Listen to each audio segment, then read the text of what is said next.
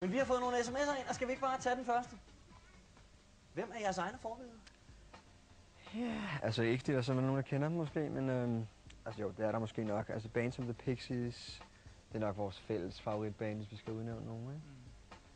Vi har aldrig øh, fået inspiration af, af Aqua, for eksempel. Jeg har altid øh, haft lyst til, at René Diff skulle sådan dirigere en af vores koncerter, sådan stå foran scenen og så sådan dirigere hele showet, men jeg ved ikke, ikke andet end det er rigtigt, faktisk. Det lyder også Så er som om, det er faktisk meget godt. Jeg ved ikke, at lige nystrøm og Skal vi tage et, et spørgsmål mere?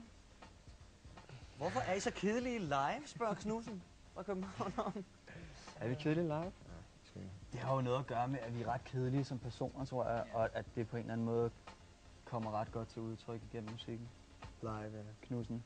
Altså, Ja, spørgsmålet om Knudsen har set os live, jo, så det er jo... hvad skal vi Det har nok. Ja. Fuck dig, Knudsen, altså. Okay, tag den Knudsen. Vi tager et spørgsmål mere her.